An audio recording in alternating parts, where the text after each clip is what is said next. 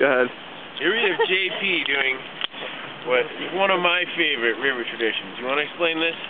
Well, today I took a nasty swim in a kayak, and well, one or I had a couple. I had a couple. I had a couple nasty swims.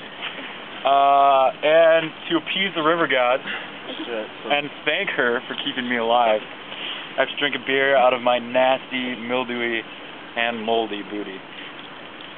It's gonna be gross. done it before.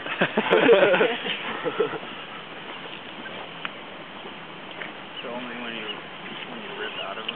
yeah, all in this Mm. Yummy. Yeah, baby.